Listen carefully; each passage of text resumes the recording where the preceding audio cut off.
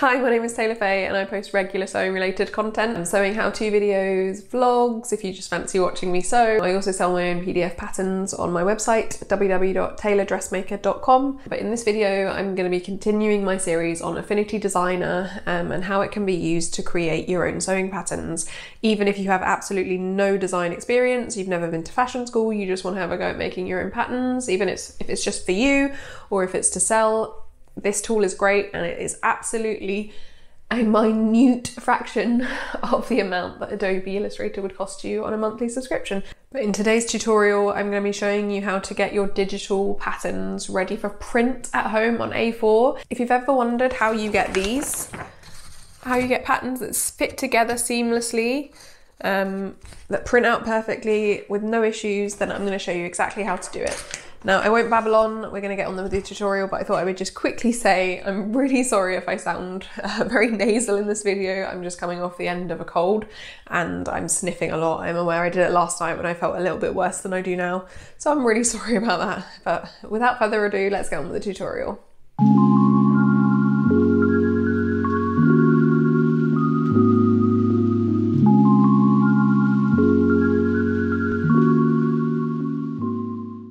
So you want to open up a new document, and now this is where I need to explain how you know what size to make your file. So obviously we want to be printing on A4. However, if you just make this A4 size, it means that some of your pattern will be cut off by the kind of bleed margins that your printer will give.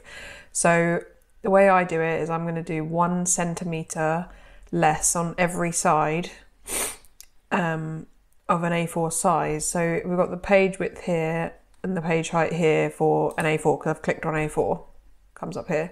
Then you want to change your document units to whatever you use. I use centimeters. Okay.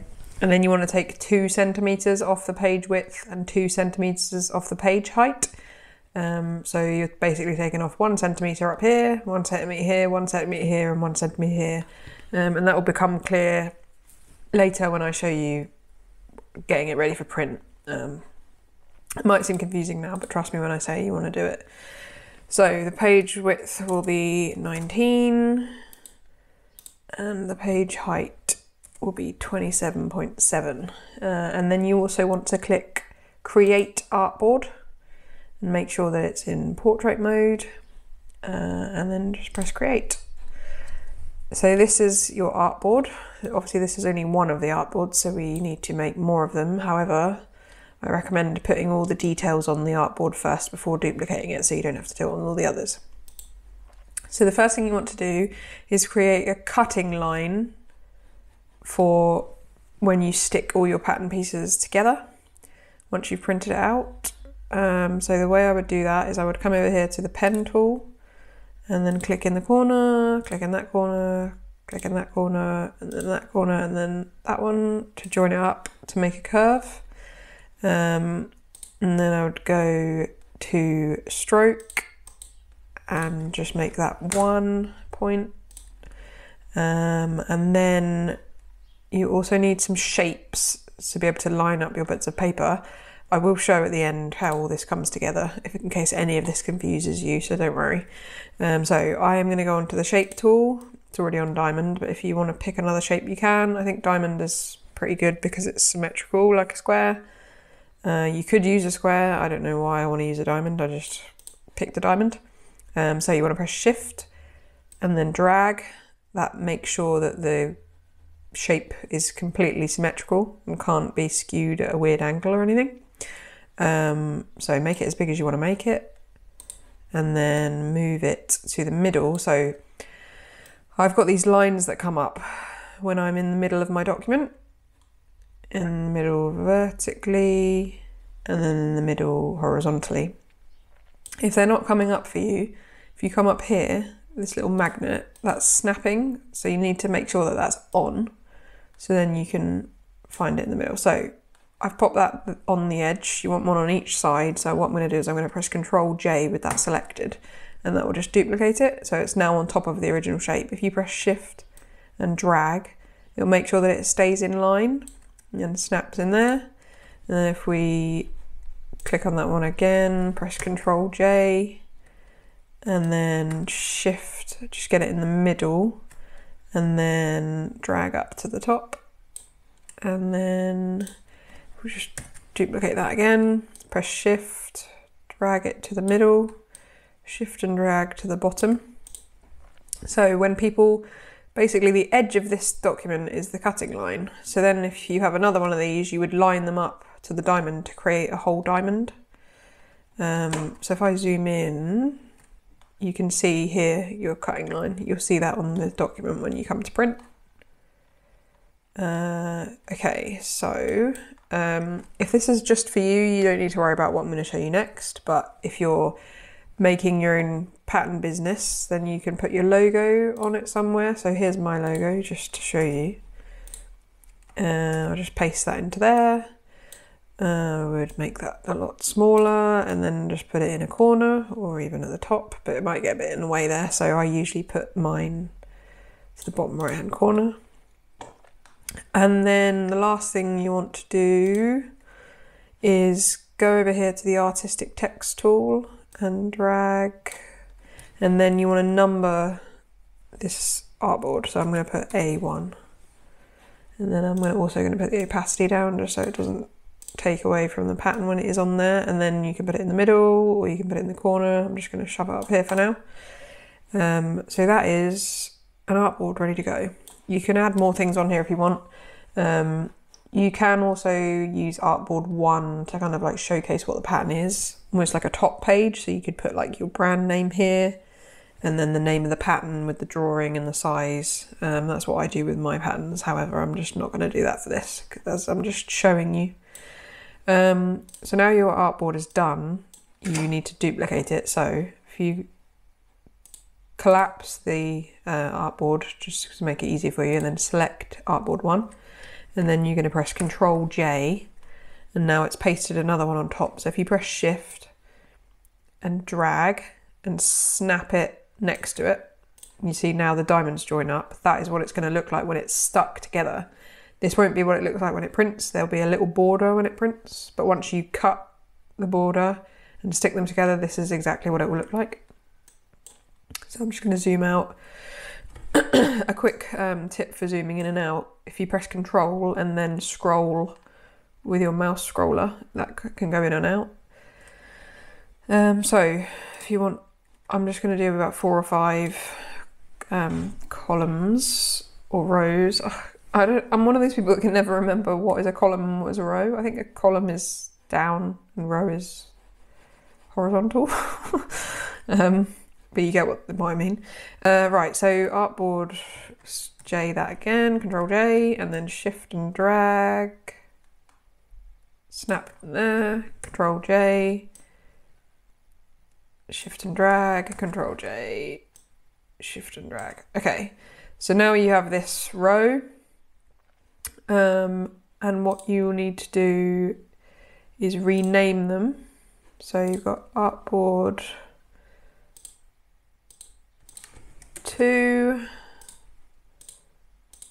That one is artboard three artboard 4, artboard 5, okay? Um, and then, so that's your row. If you then come back to artboard 5, press Control J, and this time press Shift and drag and pull it down, and across. Okay, and then Control J, Oh, I don't know where that went. I'll just press undo. Right, this one's selected. Control J. Shift and drag. Control J. Oh, Control J. Okay, after a while the program gets a bit smart and, and realizes where you want it to go. So if I pressed Control J again, it would paste it next to it. Uh, but I don't need it there.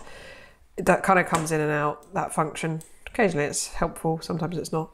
Uh, right, okay, so then we want to name these. So that one's artboard six. It's best if you keep them in the correct order. Uh, just so you don't confuse things. Artboard seven. Artboard eight. Sorry about that. Very croaky. Um, and then artboard 10. Okay, so let's just do one more row for good measure. Okay, Control J, let's pull that down, shift it across so it's in order. Um, control J, Control J, Control J, yeah, it's doing it for me. Okay. Right, we just want to name these. So that's artboard 11, artboard, oops, disappeared, artboard 12, artboard 13, artboard 14, artboard 15. right, okay. So the last thing you want to do before adding your pattern is changing the numbers. So at the moment they're all A1. So basically you just want to come and go A2, A3, A4, A5, and then these ones will be B1, B2, oop, B3, B4, B5, and then that will be C1, C2, C3, C4, C5. Okay, so there you have it. There is your finished artboard. Um, for some of my patterns, I need considerably more than this, but you just have to adjust it to how big your pattern is. This is just to kind of show you. Um, so when it comes to putting your pattern in, make sure you collapse all the artboards just to make your life easier.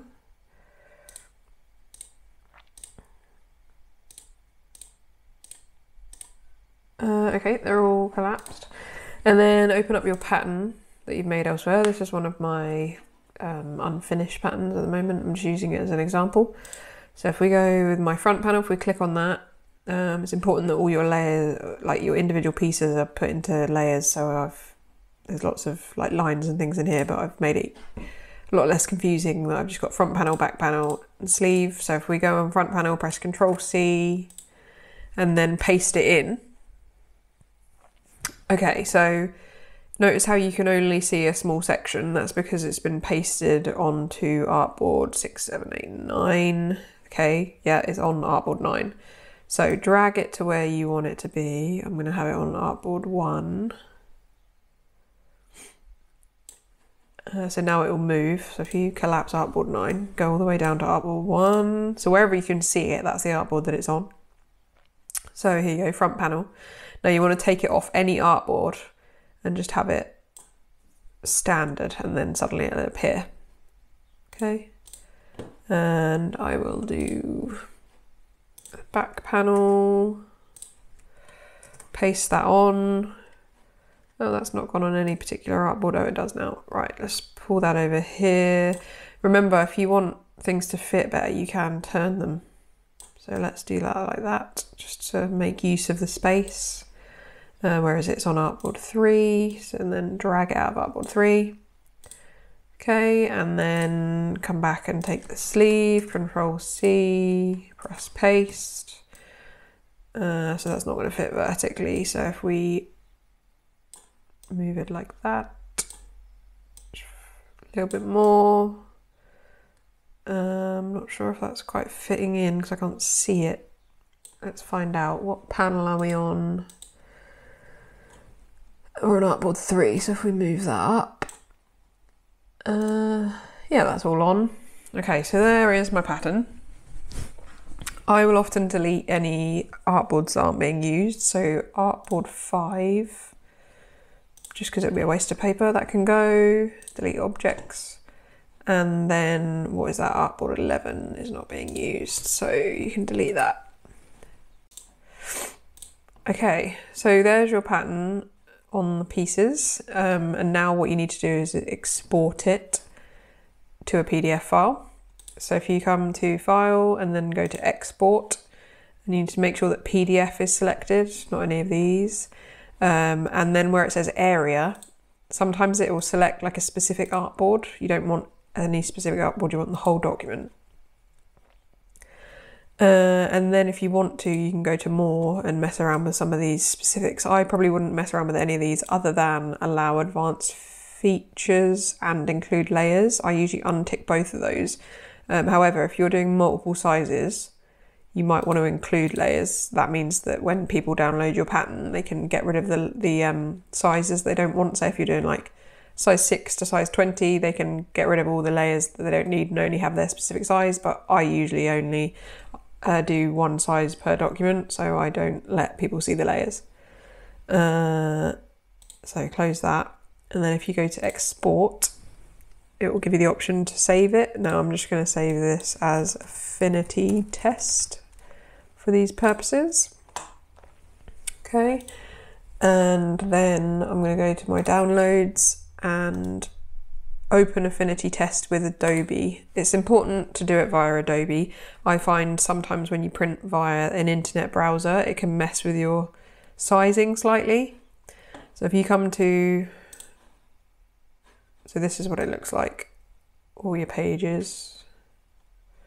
Okay, so if you come to File and then Print, um, so select your printer, I'm just going to do pages one to two just for this so I don't have to waste lots of paper showing you, but I will show you how they print. Um, okay, so then you go to actual size or custom scale can be used as well, but it must be at 100%, nothing else. You don't want fit and you don't want shrink oversized pages. You also don't want choose paper source by PDF size selected because look what it does to it makes it all skewed and weird. Make sure that's unselected. So you can see that the lines, which were the, at the edge of the normal document here, these lines, are inside the actual printed size. So it means that people can cut across these lines and it will still be, the pattern will still be the correct size. If we'd have made the document to A4, it means that these lines would have been right to the edge and then you would also have had a little bleed and it would have been completely messed up. So yeah, print your pages, actual size, and don't select choose paper source by PDF size. So what I'm going to do is I'm going to print this now and I'm going to show you how it comes out and how you cut and stick it together just so you can have a real idea of what actually what it actually looks like when it comes out. So just to show you, this is how my two pages have printed out. So they're or the edges of my original document and then which now allows for cutting space. So what I'm going to do is I'm going to cut and stick it together just so you can show that it does work how it should do. So what you would do is you would cut this line. Actually, I'll cut this one just so it's smaller.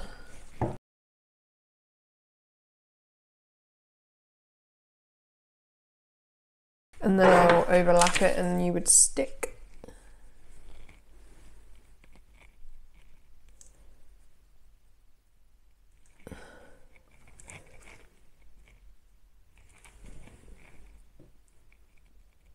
Line that up and as you can see the pattern is exactly the correct dimensions and exactly to scale. Thank you so much for watching. I really hope that that made sense. And if you have any questions at all about anything that you saw in this video or any generic questions about Affinity Designer to do with sewing patterns, please don't hesitate to contact me. I would be happy to ask answer any questions. Um, you can comment down below, I will reply, um, or you can message me on Instagram at Tayler Dressmaker, or you can go on my website and fill in one of my forms and I'll link to that down below. If you could hit the like and subscribe button as well, I would really, really appreciate that. It's free for you to do and it helps me continue doing what I'm doing. So thanks for watching and I'll see you in my next video.